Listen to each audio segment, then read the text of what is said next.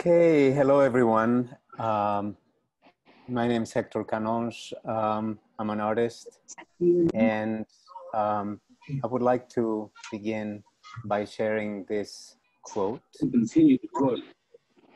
If, all, if, you could, if you could all mute your sounds, that would be great. Nice.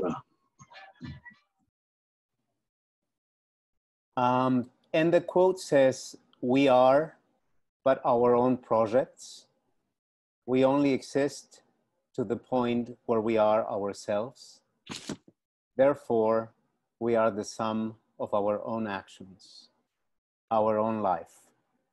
And that comes from a writing by Jean Paul Sartre, a French philosopher who wrote about existentialism.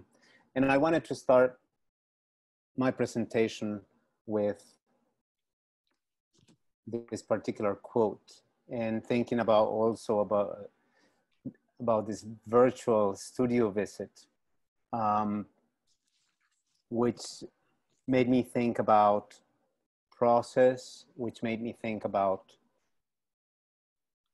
the experimentation of our own art form especially now in terms of what we are living through individually, but also as a global community.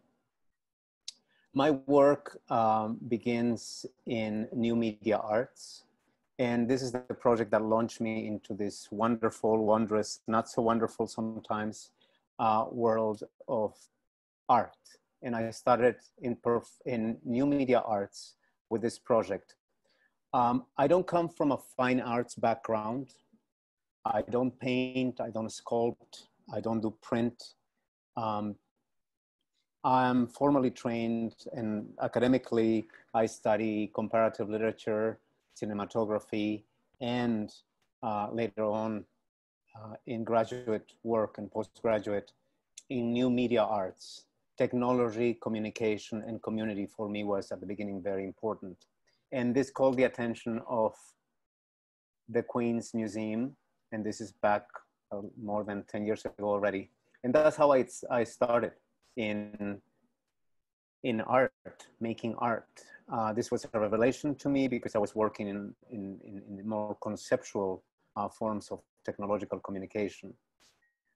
Um, later on, I worked with communities, and this project is related to the HIV and uh, community in New York City. Um, I was exploring the codification of the body how individuals get codified, whether because you have an illness or because you are uh, male, female, etc. But this particular project talked about HIV infection in New York, in the New, in New York City, which also takes a little bit of this other project called Ciudad Transmobile, City Transmobile, which was the mapping um, of Hispanic communities and their lives, interactions in New York City. Uh, this is before Facebook. This is before you know all the social media that we have today. But I was exploring that already in this prototype uh, communication systems, in this idea of uh, networks that we could create. And the same thing here, with the barcode being a powerful instrument to the codification of the individual and the decodification of their own HIV AIDS status. I also created immersive environments, immersive environments where technology was the driving force. This project called Deceptive Land Landscapes was a media installation or new media installation which reacted to the, to the presence of, um, of the visitors in this particular gallery. Uh, at that time, I was interested in what later became very fashionable to do, GMOs, genetically modified organisms. And I mapped many fields in the Midwest, uh, starting with Pennsylvania, um, and took all these different type of video resources and uh, the emulation of the environment in, and created this deceptiveness about what we think is natural and unnatural. So my beginnings are in new media arts. Um, and the exploration, as I said before, of technology, how we use technology, um, and how we can adapt technology to understand better um, society, how to understand better communities, and how to understand better also the way we consume. My incursion in performance art um, was also a matter of exploration and it happened with the technology of barcode. Barcode in the sense of codifying the individual. This is my very first performance piece. And I always like to mention this one because it was in this piece called Esquema Corporal, Corporal or Corporeal, um, where I am in front of an audience, where I become the subject and object of observation. It is through the codification of various parts of my body that people begin to uh, understand uh, how uh, that point in my life back then felt uh, as an individual, as an artist, uh, as a man living in New York City, producing in New, in New York City. And this comes from a text, um, a French text that I had read um, Corporel, uh, which reference in the 1968, I think it was written, referenced the codification of the feminine body. Um, when it was done in 2010, I was thinking about the, the codification of the male individual as well. Everyone talks about, you know, the feminine archetypes. Everyone talks about the, the women are always codified, but so are men. And in this sense, um, we walk codified. And this is the, this is the project that talked about that. So again, my very first incursion in performance art, which at that moment I wasn't even aware or I wasn't even inclined to call myself a performance artist. I was more of a serious new media artist, uh, exploring other ways of creating installation. For me, this was a live interactive installation. Um, piece, but critics came, gallerists, um, uh, magazines, and wrote about it, and they started to call it performance art.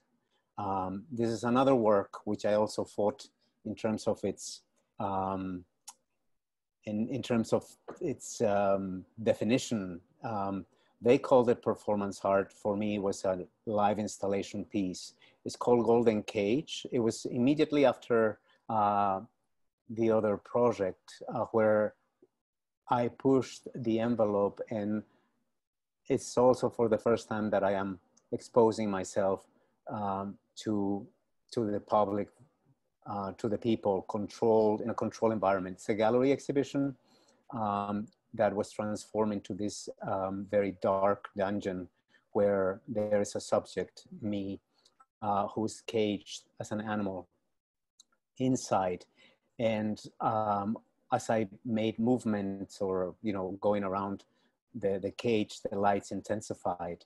Um, and if I didn't do that, then the lights dimmed.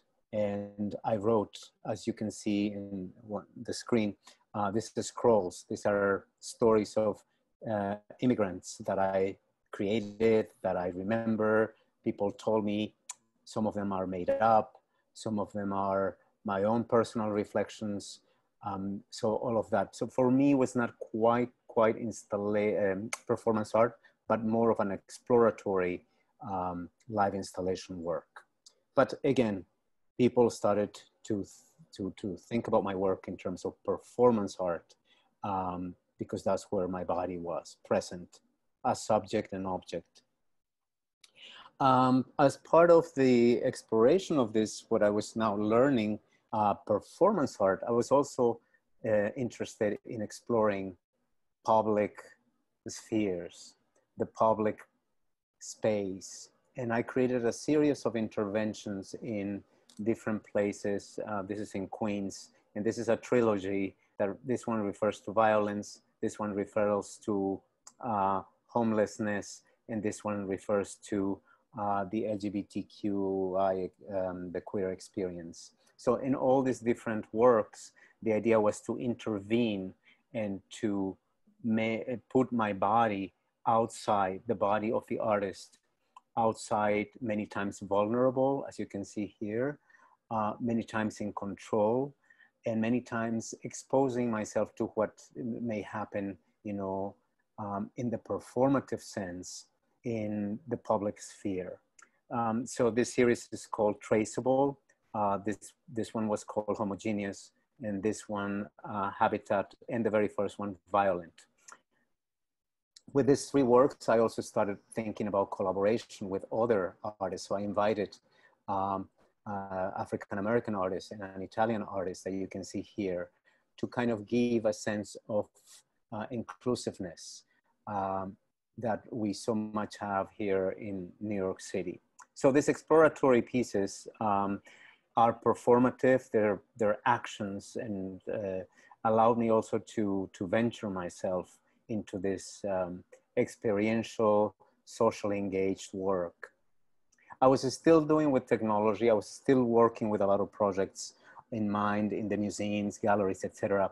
But more and more performance art was um, was taking, you know, in, in in another direction. Was taking me in another direction, and I decided to go without technology, uh, where the body rules, where the body is at the center of the action, where I am the subject of creation and I become the object of observation. I become the art piece um, myself.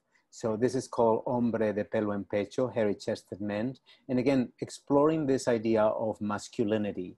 What is to be a man in this contemporary society? Uh, what are those codes that makes us men? Is a hairy man more uh, men than an unhairy one, etc., etc. So this is the very piece. The only machine that you see here is um, this uh, hair clipper. So I allow people to shave me, and this is what I think I started to create also my own my own image um, of you know shaving every day. Um, I let people shave uh, my hair, and then the hair that falls into this pond, which I call it the Narcissus pond, uh, I applied it to my chest and become this very, you know, kind of um, ape-like man trying to prove that I'm stronger and I do all these different actions. So this is um, dealing with this idea of that I mentioned before, the codification of the male subject. Um, following that, um, I'm also I also started to explore the idea of the colonization, the colonizer, the body that is colonized. And I am not going to use the term decolonization because it's been overdone, it's oversaturated. Uh, people are talking, you know, about it so much today. This is 2012, and I'm thinking about uh, the body that has been colonized. Um, this is called Your Blue Eyes Melt My Bronze Soul. And in my work, I um, my work requires a lot of research and I read a lot. This is based in many things. One is based on the Mexican co conquest by the Spaniards. It's also based on the legend of Quetzalcoatl, the, uh, the serpent god of the Az Aztecs that went uh, to the ocean. So they were waiting for their return. The legend says that, you know, one day he would return and he would rule. So um, when the Aztecs saw the Spaniards with their helmets and their armors, they thought it was Quetzalcoatl. And the third reference is a literary reference um, um, written by Alcides Arguedas, who is a Latin American writer, Raza de Bronce, which is, uh, translates um, roughly into uh, race of uh, bronze skin. Um, so all those references are embedded in this particular project. And um, at that time, um, I was also um, going uh, out with someone that had blue eyes. So this idea of the blue-eyed person that melts the skin of the, you know, indigenous peoples. And in Latin America, there is this fascination of uh, blue eyes, green eyes, you know, um, and uh, it, is as a sign of um, superiority considered by many people. So putting all those two together, all these things together, the performance came to be. Uh, I let people, um, I let people actually um, hit me um, for about an hour and a half, two hours. They hit me, and they imprint. They left their print marks on my body. Uh, all of that, then I rinse and I jar it in these jars um, that I return back to people, as you can see in, in, in the lower right photograph. So is the return offering of the body that has been colonized, of the body that has been conquered.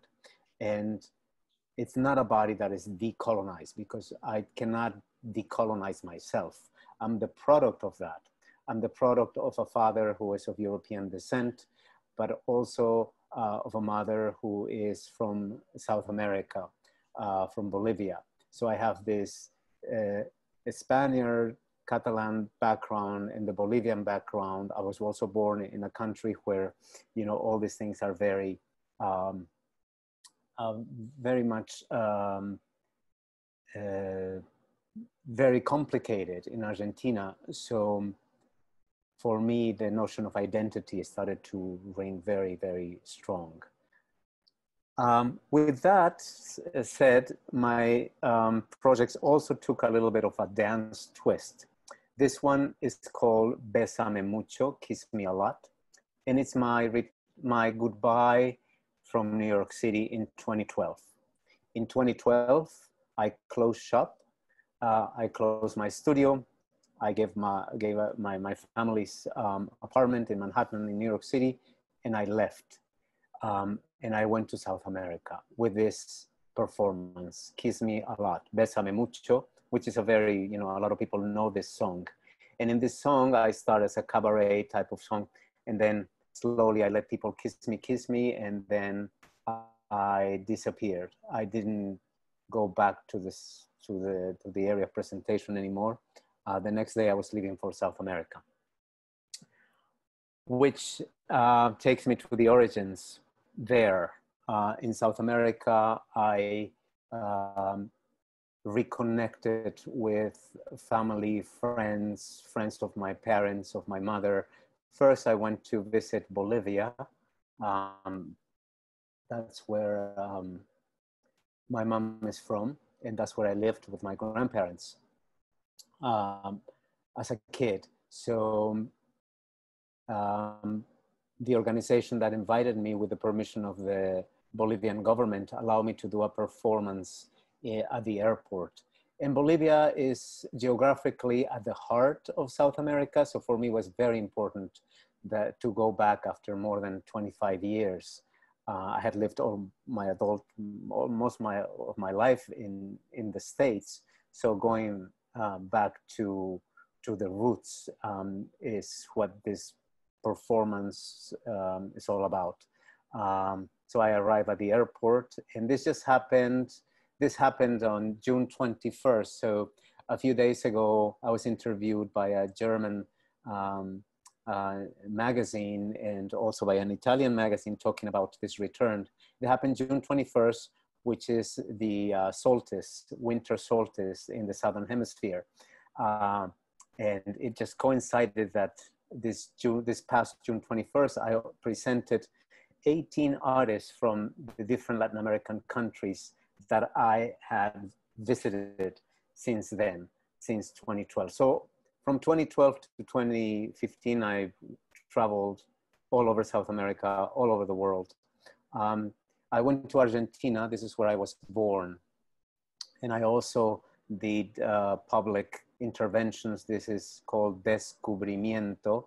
And, and, and, and again, I'm using the descubrimiento, the this rediscovery, um, with not with the idea of decolonization in mind, but with the idea of um, presenting myself as a subject, as the result of that. I'm doing this performance in front of the statue of Christopher Columbus um, eh, behind the uh, Casa Rosada, which is um, like the White House in Buenos Aires. Um, and I went and did this intervention wearing an Amazonic tunic um, and yarn also taken from the from the Amazons um, to evoke the enslavement and to evoke the conquest and colonization of the indigenous groups in, in, uh, in, in the Americas. Uh, since then, um, the, the, the, statue of Christopher Columbus has been taken down and they have put um, um, a revolutionary statue of a woman uh, who fought for the independence of uh, Argentina and Bolivia and Peru.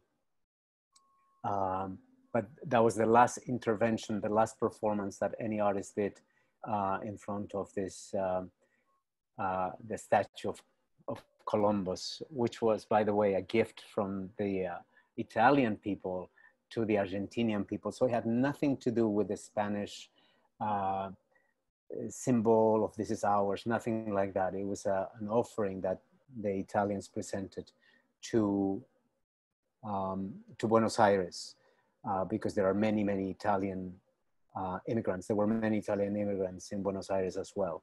So with that, I connected and there I did many, many performances. I'm just showing you a few. Uh, this is in, uh, in Chile.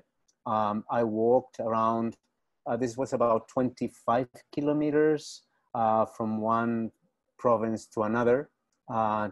This was a coal mine in the in Los Alamos in Chile, and since uh, coal is no longer exploited there, the town has become very uh, ghost-like. So with my wheelbarrow carrying charcoal, um, you know, bare feet, I walked those 20 something kilometers to reach this point that I call Point Esperanza, point of hope. Is there a hope for many of these towns in South America? Many of these towns that during the 18th, 19th century were the center of commerce, the center of wealth uh, for Chile or, or, you know, or, or Peru or Bolivia, etc. So it's a representation of this economic uh, link uh, that uh, South America has with the rest of the world.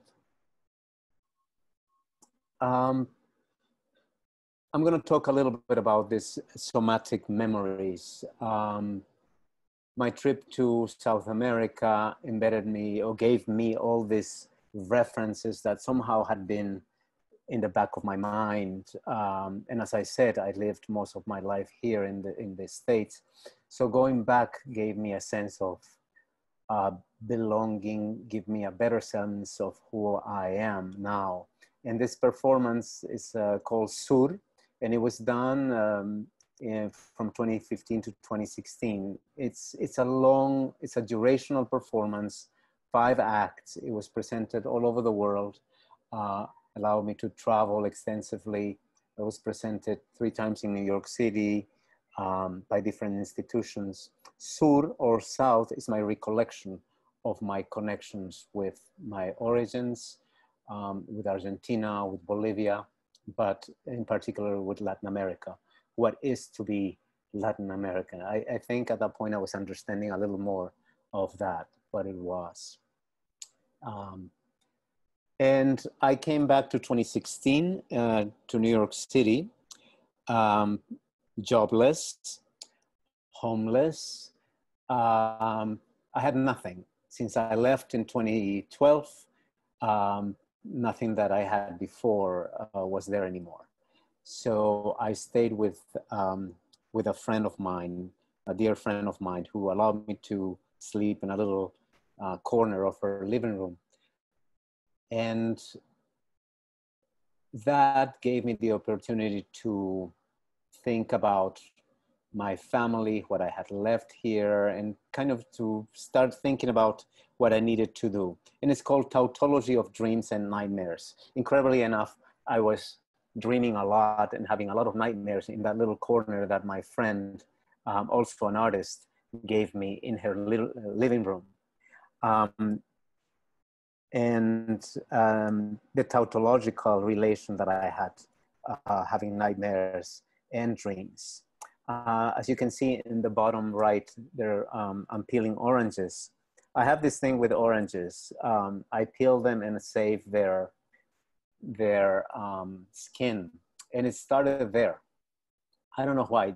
Just the oranges reminded me of uh, um, my family, it reminded me also of, of the South. Um, so it was a, a, a, very personal action to do that. Um, so my work uh, evokes those moments of memories, uh, memories that I've created, memories many times that I recreate based on some other people's memories or on my family's history or my family's memories uh, of living during the dictatorial regimes in South America. Um, so I evoke that with many of the work. And now I'm doing, uh, at, this point, it's 2016, and I'm definitely doing performance artwork. Um, I, I was doing a little bit of new media work and, and, and, and, exploring digital networks, etc. But my work now, I could say that center more on that, on the body and the performative. Um, I'm going to talk quickly about this idea of the migrant body. Um, the displacement of the body and how we inhabit um, other places. This performance Inconnu is done in uh, was done in Martinique, um, and as part of uh, an invitation that I had for um, one of the very first performance art festivals in Martinique, and um, it's not only an exploration of memory, territory, but also of history. Martinique was colonized by the French. Um, it's not an independent state, still under French rule in the Americas, in the Western Hemisphere. Um, and um, this performance, Inconnu, uh, un, unknown, references that. First, I do a performance inside, you can see the bottom right image, inside of the um, Bibliothèque Schœlcher, which is the library, uh, the main library in Martinique, was built by um, Eiffel, the, the same architect who built the Eiffel Tower in France, in Paris.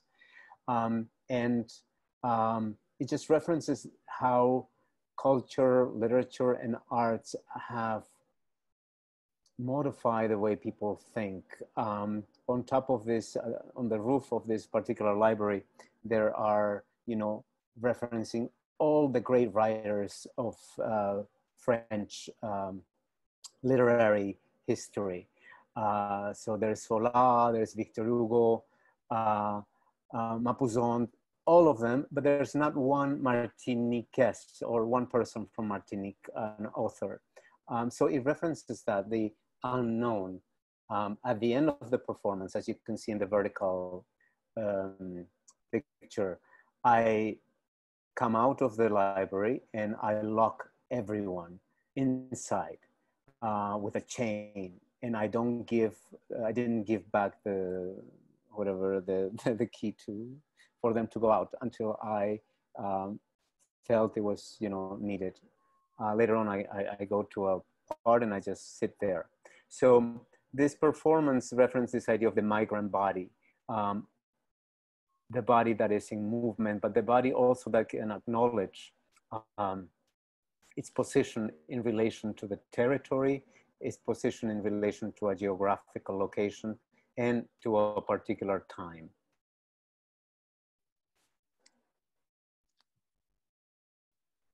This particular work um, uh, takes me back to a traumatic period in my life, traumas. I had been in New York um, a year. Um, I had gotten an apartment, a studio in Queens, and I went um, to Berlin to work and to present uh, my projects in May 2017. Upon arrival, upon um, setting up for my presentations, um, I was uh, robbed completely. So they took everything, my equipment, my money, documents, and it was left, I was left um, with nothing, basically, um, in Germany. Uh, it was right after this performance.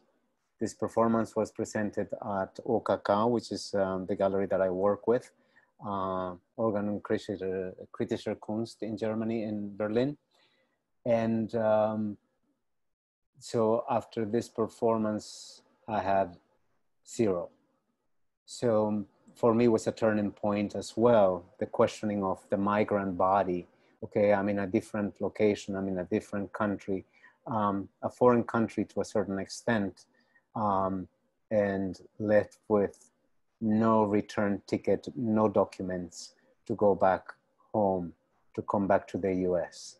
So um, in this performance, incredibly enough, I was exploring the idea of Traum, which is dream um, in German, but also the idea of Traum, um, the trauma or the, uh, the traumatic event. And it happened to be traumatic for some reason. I, I don't know. I was for, I think for, I was, um, I don't know, seeing the future in that sense. I don't know.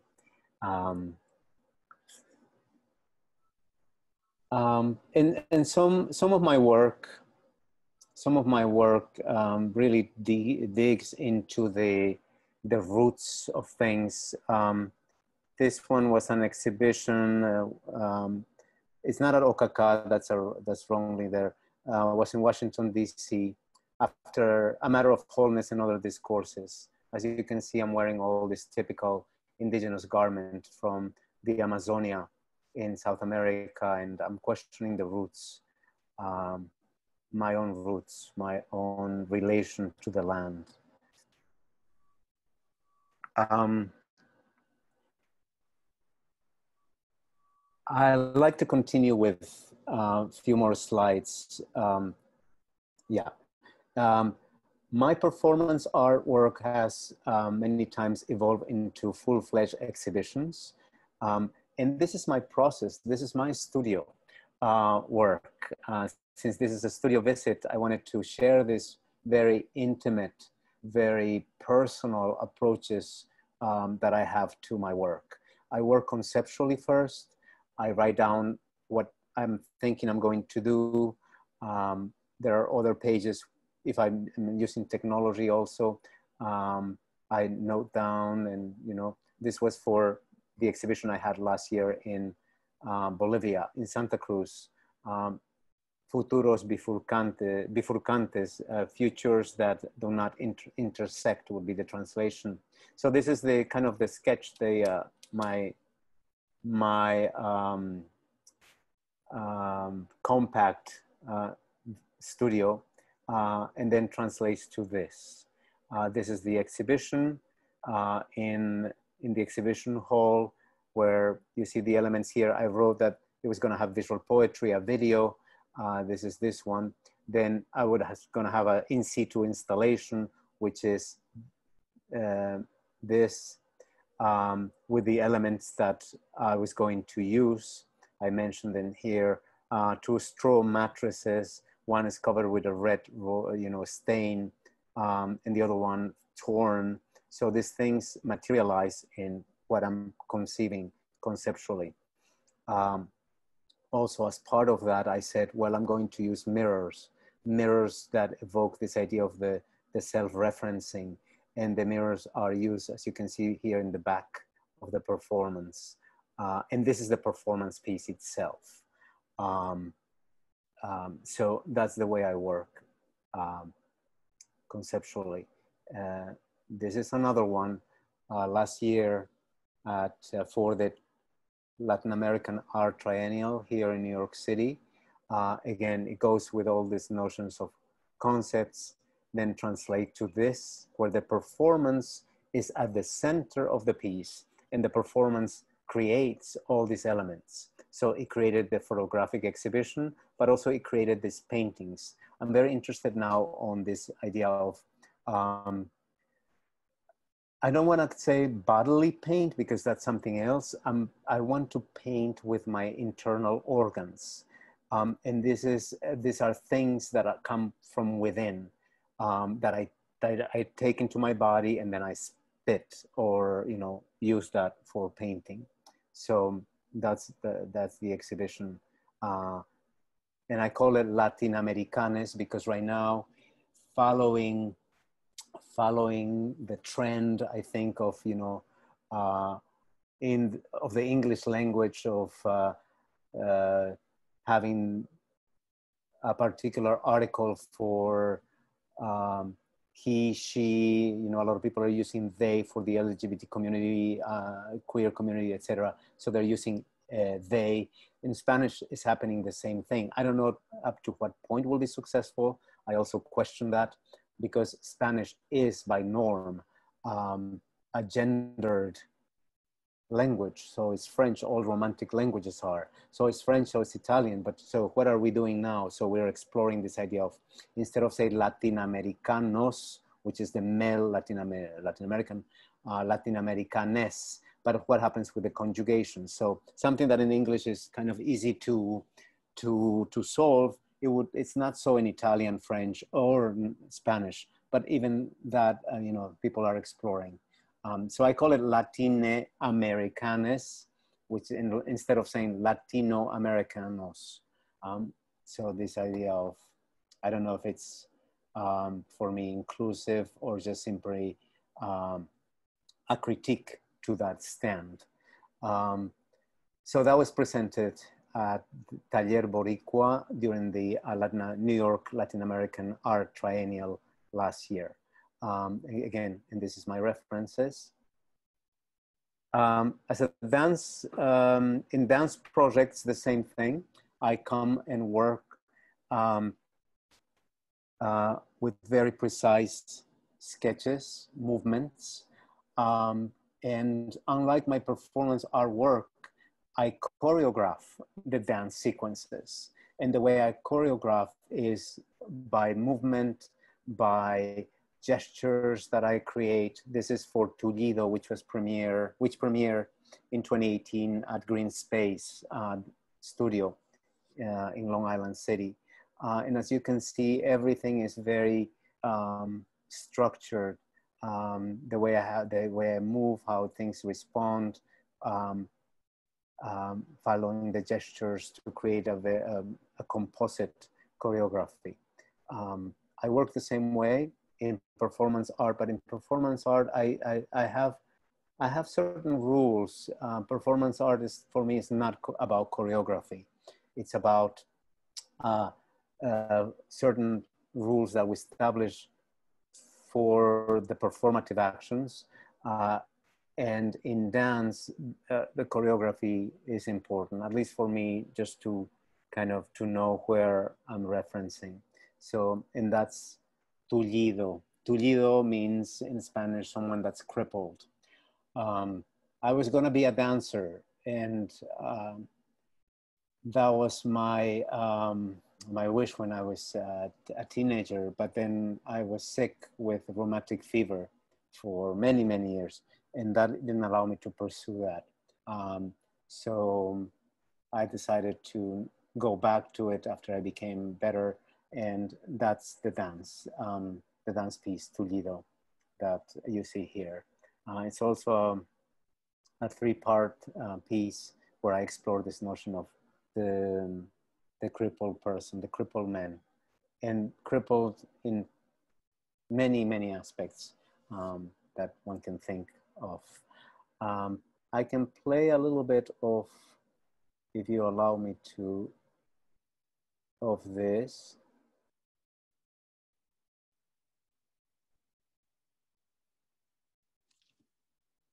Let's see. Maybe I'm not doing it correct.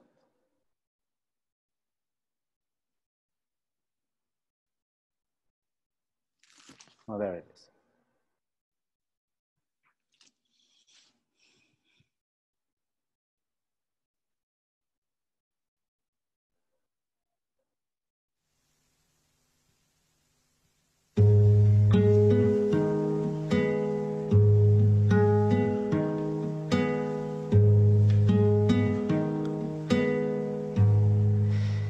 is. el firmamento poder yo tuviera esta noche negra lo mismo que un pozo con un cuchillito de luna lunera cortaría los hierros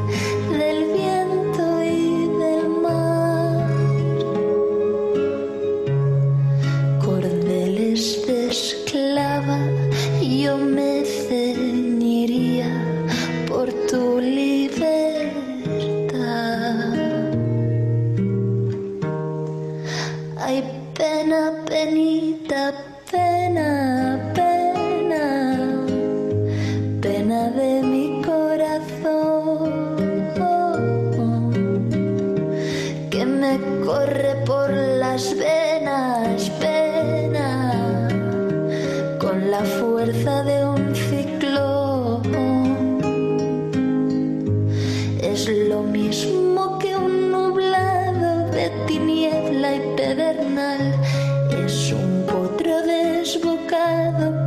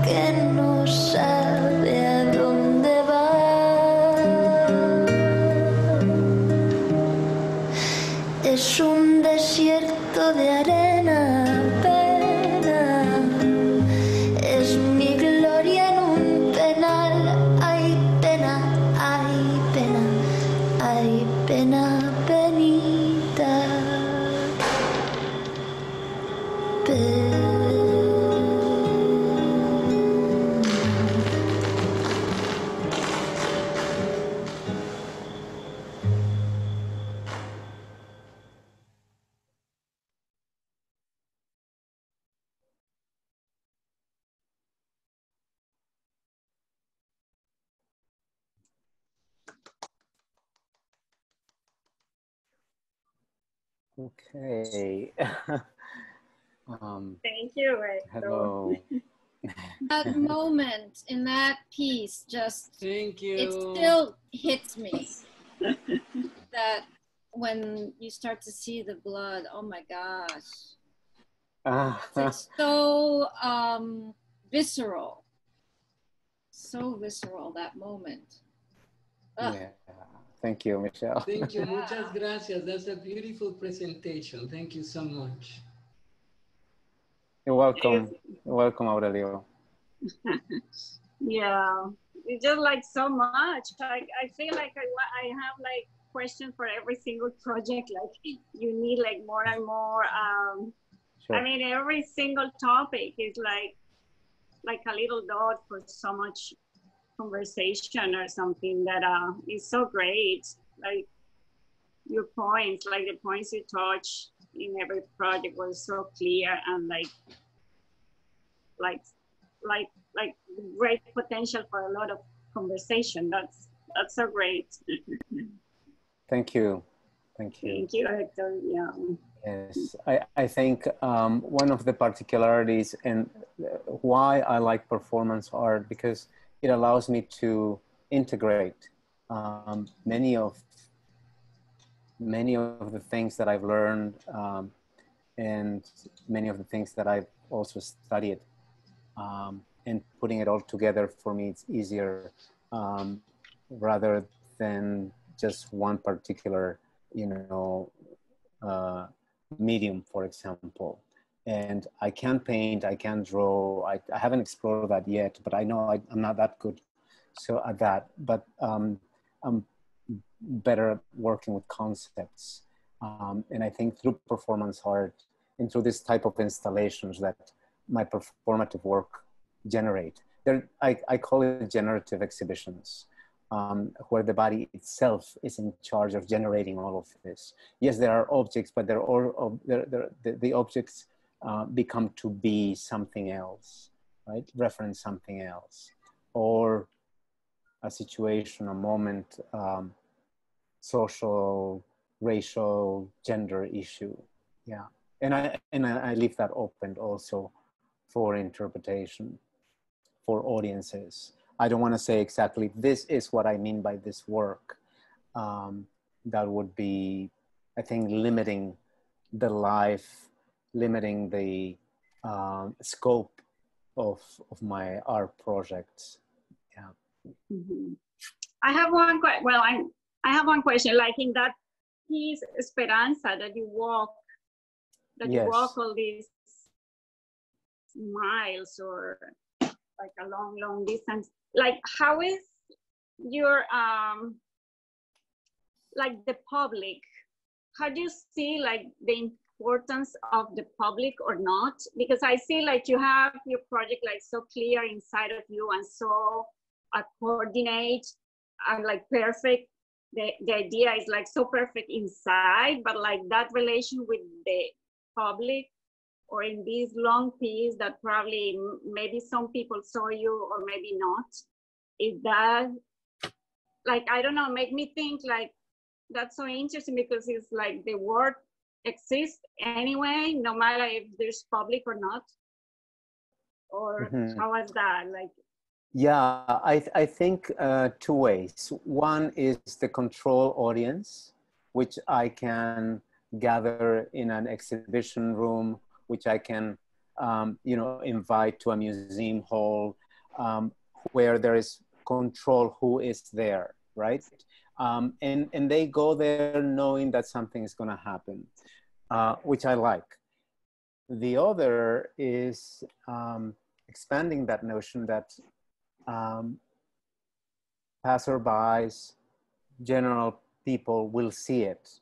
And hopefully hopefully will trigger something in them. Um, or maybe not, which is also acceptable. You know, when I was doing the piece that I show in uh, the one in Argentina, right? The one with um, where I'm all wrapped in this um, in this tunic. I remember that um, a guy passed in, in, a jeep and he said, "Hey, you, you know, why don't you get a job? Uh, you know, go and get a job, uh, something like that." and and I could hear, although I was blindfolded. It's like go and get a job. Um, and to myself, I thought I provoked something because that man didn't just go, you know, and, and just I didn't go unnoticed. So I was unnoticed. Oh, I made him react, saying, "Hey, something is happening here. I'm gonna say something." Um, so being exposed in, in an open environment, especially when you're doing performance art, um, it's, we have less control and, and we assume the risk. Uh, the piece that you saw me with my other two colleagues, the homogeneous, right? The intervention where we are wrapped in, the, in these ribbons. Um, around us, which you didn't see, but the woman's holding, there were scissors, pointed scissors. So the risk that we were taking is that some homophobe could go and stab us with the scissors instead of cutting the ribbons or do something to us. Um, it happened with the other uh, version, not the other version, but with the second instance of that uh, project, where you see me kind of gathering my little cardboard uh, home, um, someone kicked it and people just followed on, on the kicking. Uh, and I was inside. So I was kicked inside. Um, the same project I did, they invited me to do it in Marseille. Uh, and teenagers this time came and kicked the boxes and I was inside. And then children followed uh, enraged, like trying to say, I don't think they were doing it, you know, because um, they thought it was playful. But for me, it was very scary when, when children started to tear down and, and I was inside, you know, to the point that the galleries came and I did this for, um, for an organization. Um, uh, so, so there are acts of violence that could happen. You, so you're exposed, you're not controlled. You, you might be in control, as you said, I know what I'm going to do. I know that I have to do this. And those are the rules that I was talking about, you know, uh, in performance art. But I don't know what people, how people may react to it. Yeah. Mm. Mm-hmm. Thank you. That was a Very good question. Thank I you. have a question uh, about library piece. Uh, that was beautiful and uh, fascinating. And I was thinking, how interesting is that that you locked them in the end? Mm. Uh, can you speak a little bit about that work for, in particular? It's uh, was it as an um, as an action that you you did there, or it was like an agreement with library? How how it worked the piece itself, and how people responded when they were locked? Yes, well, the piece starts very slowly. Um, I descend from this spiral staircase that librarians used to use. I go into the main hall of the library. I did all this, you know, very um, particular actions. And at the end, I draw people to follow me outside to the patio, to the entrance. Uh, but I position myself ahead. And when they're trying to get out, I go and lock it basically Mm, I see. and I go and I, I there's a, a there's a boulevard that I crossed the boulevard and I went to this um, there was kind of like a sandy area and I stayed there for for a while just uh, laying there um, and people were inside people were inside yeah Did they feel I mean I like Huh? they were they were scared. Did they feel locked, or they were like looking at you? How was the response? The response was that they didn't know whether to go out or to follow me but since the doors had the gates would co- uh, closed and later on they told me um, they feel trapped and that was the idea Yeah. how we are trapped by certain norms of that we inherit from in this case france right they're locked into this culture which of course has taken a different turn but they're locked into a culture that is maybe not the, their own of native peoples of martinique yeah That was that, very- that was the referencing yeah. that was the referencing yeah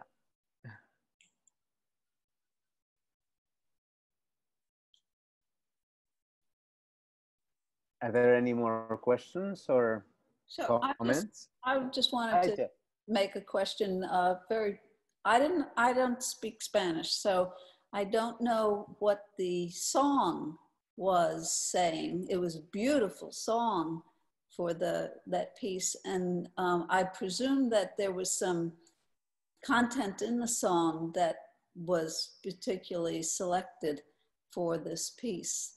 Tell me about Yes. who and who is the singer and what's the period that that you know like is it it wasn't contemporary the song No. itself it was from It's a very 20s or yes. 30s. Mm. See, I know my style of music, but yes, um, it's a song that I had first come across when I was doing a project for the Bronx Museum of Arts, Idolatries. And in Idolatries, I use all these different Hispanic products that I found in New York City and that had the images of women. Uh, and with the barcode scan, they could scan it and they would get a clip uh, of a movie from the golden age of Hispanic cinema. And there was one, there was one that was a product uh, of olives, Spanish olives. where there is, you know, Amaja, this is Spanish dancer. So when they click, um, uh, the viewers saw Lola Flores singing this song, which is uh, pena, mhm, pena penita, sorrows, basically. Uh, this particular song for my piece was interpreted by a friend of mine, created. Um, so um, it's reinterpretation of this. And Lola Flores is, you know, the 19, we're talking about the 1940s. Um, and it talks about um, the sorrows that we carry with ourselves. Um, and for me, it references a lost location, lost love, longing for something. And the piece in, in the exhibition was is called um, Crimson Sadness. Um, um, and that's, the, that's the name. That's the name. Crimson. what? Crimson Sadness. Oh Sadness. Yeah. Um, yeah, it was presented at a festival in France. Uh, that's why you see the title Tristesse Cramoisie, um, because we had to put the title, and that's the, the, the version I have. Yeah, yeah. But the song is, um, it talks about the longing or trying, let's also aspiring to be free, but free f- with the loved one in a particular place. Yeah. Mm. Yeah. Not her voice, like her voice in that song, like her interpretation. Because I heard the Lola Flores is not as good like this one. Maria Rodez is the singer, right? Maria Rodez, that is like um, the interpretation of this song is like her cells are in pain. Every Yes, yes. There are many. There are many interpretations of it. Yeah, there are many interpretations, and it's more of a flamenca song, uh, the original. Yes, uh-huh. but I, I wanted something that is more. It was. It was also long, elongated. You know, with the movements. slow. and- Mhm. yeah, it's, it's slow. It's uh, exactly slow. Yeah, yeah. Uh, But you don't to- normally use sound. You, uh, well, I mean, I don't know, but the other pieces that you showed, none of them had um, music, uh, but this one does. The, Um, your feeling about that, using music, not using music? Because it takes it for the audience, especially an un, you know, an audience that's not as informed about either your work or about performance art, um, would then you know, see it more as a theatrical, musical type of performance as opposed to a performance art. So there's a line you can cross by using music, but you don't. I see that, and that's not the, you don't want to go to that other side of the line, but you can use, you're using music some, how often would you use it or are you interested in I- it or? I go back and forth.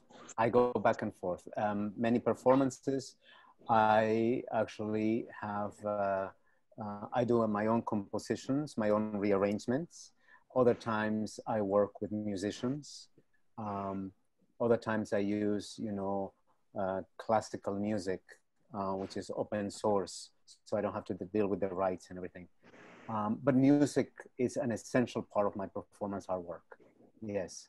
I would say 85% of my work in performance art is informed by music. And what I mean music, not necessarily, you know, uh, sung, uh, vocalized, um, experimental sounds, Composition. compositions, um, sound compositions, because I'm very much in, interested in how the how the senses are triggered in performance art. So many times it would just be the vision, and in fact, to end this meeting, I selected one that I just want you to take that image um, and not the audio. Um, and others are charged with um, with sounds. Yeah and those sounds not necessarily are, are, harmonious many times or melodic. They're there's they're noise that some people may consider right? Um, and that comes i think from my new media also background where uh, sound composition the uh, sound experimentation um, was there yeah yes yeah so that that that translates into that thank you gail yes, about sound. Yeah. Yeah. Okay. Um, are there any other questions? Okay. Um, Thank So you. thank Thank you you. so much. So I have one, as I said before, I'm going to leave you with um, one piece that I did recently. It's a very short piece. Um, I did that, uh, I did this piece for a festival in, in, in Bolivia, actually. One of the very first LGBT festivals that they created online. So I'm gonna leave that with you. Uh, I wanna acknowledge uh, my family's here. Where it says Familia Tavin, I didn't know who it was. So my mom is watching. Um, that's your mother? yeah, my mom is watching on the other side. Yeah. Okay. I was like, what? Let us Who's see. that? Turn the video on. Yeah. Thank yeah. you. So hello, everyone, uh, back over there.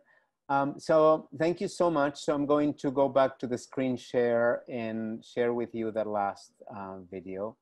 And thank you again. Thank you, Gail, for Oh, thank being you there all. always. Uh, Michele, thank you for this incredible work.